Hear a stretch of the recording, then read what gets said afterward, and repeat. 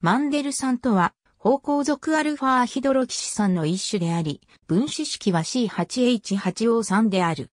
形状は白色結晶で水及び大半の一般的な有機溶媒に溶解する。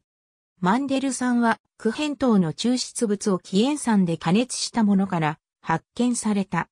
命名はドイツ語でアーモンドを意味するマンデルに由来していると言われる。異性体にはクレソチン酸やアンドオーアニス酸などがある。マンデル酸誘導体はアドレナリンやノルアドレナリンがモノアミンオキシダーゼやカテコールオーメチルトランスフェラーゼによる代謝生成物が挙げられる。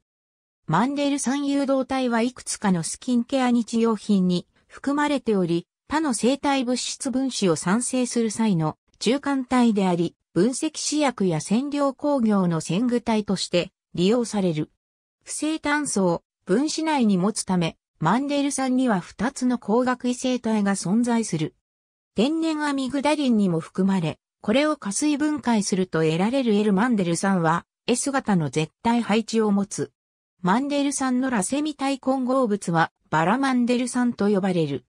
製法としては、ベンズアルデヒドとシアン化水素酸とを塩酸化で反応させたり、フェニルクロロサク酸をアルカリと反応させたり、ベンゾイルホルムアルデヒドをアルカリ条件下で反応させたり、オメガ、ジブロモアセトフェノンにキアルカリを作用させると得られる。ありがとうございます。